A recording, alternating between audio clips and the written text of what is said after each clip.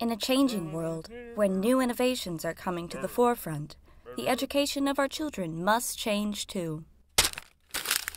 Through simulation, students not only have opportunities to work hands on, but also as teams in safe, encouraging environments.